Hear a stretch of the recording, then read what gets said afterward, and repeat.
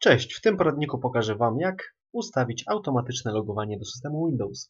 Aby to zrobić e, i nie musieć wpisywać hasła przy każdym uruchamianiu komputera, wystarczy bardzo prosta czynność. Wystarczy wcisnąć na klawiaturze logo Windowsa i przycisk R i wpisać net.pl wiz lub wcisnąć start i w wyszukiwarce wpisać net.pl wiz uruchomić applet konta użytkowników i odznaczyć to miejsce. Aby, aby używać tego komputera, użytkownik musi wprowadzić nazwę użytkownika i hasło.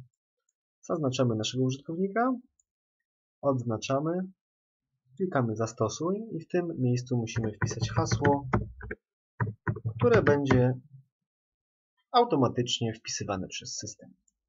Potwierdzamy OK, OK i w tym momencie zmiany już są gotowe. Zresetujcie komputer i zobaczcie, że już nie musicie podawać hasła. Dzięki za uwagę. To wszystko.